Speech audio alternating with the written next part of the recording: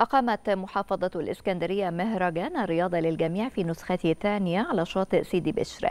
يهدف المهرجان إلى زيادة الوعي الرياضي للمواطنين وتنشيط الرياضات والسياحة الشاطئية وتشجيع ممارسة الرياضة بشتى أنواعها. كما تضمن المهرجان عدة عروض فنية ودورة مصغرة في كرة القدم الشاطئية والكرة الطائرة وكرة الراكت وكرة السرعة والكاراتيه وشد الحبل وقصار القامة وذوي الاحتياجات الخاصة.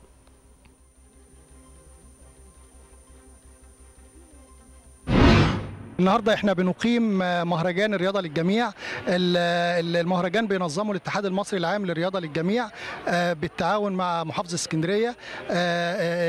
يعني فور استقبالنا للطلب عرضنا على سياده اللواء محمد شريف يعني وجه برعاية هذا المهرجان. وبدأنا نجهز الملاعب الموجودة.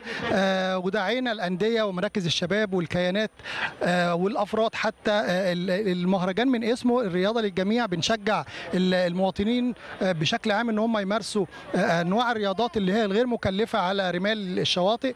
إحنا هدفنا إن إحنا نوصل رسالة إن شواطئ إسكندرية مش أقل من شواطئ أي مدينة ساحلية بره. إحنا عندنا المقومات عندنا المساحات الرملية عندنا قدرنا نقيم عدة ملاعب.